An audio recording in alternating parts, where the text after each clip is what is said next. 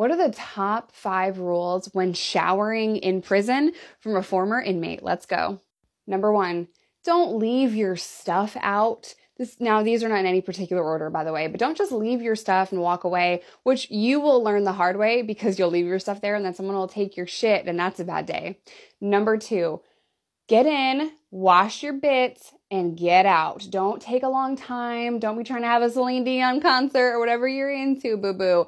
Shower, wash your bits, and get out quickly because other people are waiting. Number three, do not wash your body aggressively. Don't get your shower water anywhere near me. If I get hit with your shower water, I'm going to be so mad. So don't, you know what I'm saying? You know what I mean? That's a that's a big one. Of course, Number four, you have to wear shower shoes or you will get a fungus. Don't ask me any, like, any questions. Just trust me. And if you drop soap that you're using, you have to throw it out because the floor is disgusting. Just